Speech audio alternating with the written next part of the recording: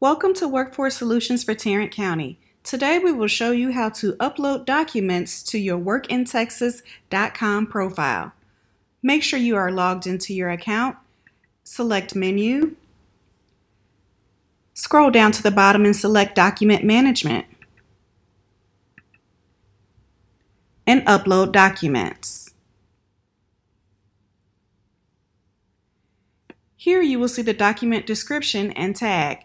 You can choose a keyword that will be indexed for this attachment.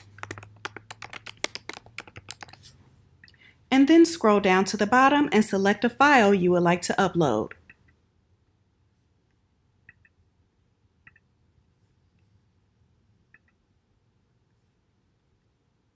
Once that file is uploaded, select Save.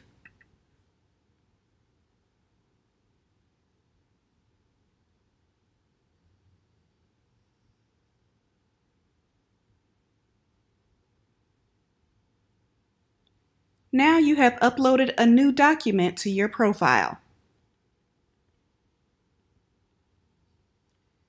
To remove the document, just select the Delete button, sign in again, and remove it. Thank you.